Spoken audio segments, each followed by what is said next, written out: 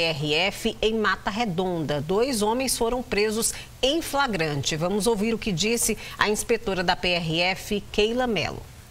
Essa abordagem ela iniciou é, no primeiro momento por uma desconfiança de uma direção perigosa associada a um, uma possível arma de fogo. É, nós recebemos a informação de um usuário, de um, motorista, de que havia sido trancado por um caminhão, que ele tinha anotado a placa, passou para a Polícia Rodoviária Federal. Nós fizemos essa abordagem, a pessoa alega que acredita ter visto algo semelhante a uma arma de fogo.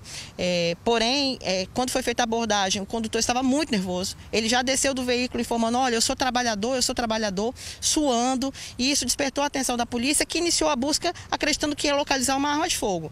Entretanto, percebeu-se aí que havia um fundo falso no caminhão e nesse fundo falso alguns tabletes. E para surpresa da Polícia Rodoviária Federal, era cloridrato de cocaína, uma droga muito pura, muito cara no mercado criminoso, na organização criminosa. Então nós estamos falando aí de um prejuízo estimado inicialmente em 8 milhões de reais. É a maior apreensão desse tipo de droga no estado da Paraíba em rodovias federais. A preocupação maior da pessoa que foi detida certamente não era nem com as implicações com a polícia, porque ele vai aí responder por um crime, vai ficar preso, mas a preocupação certamente está na devolução desse material para o tráfico de drogas, já que ele perdeu e causou um grande prejuízo ao crime organizado quando perde essa quantidade de drogas.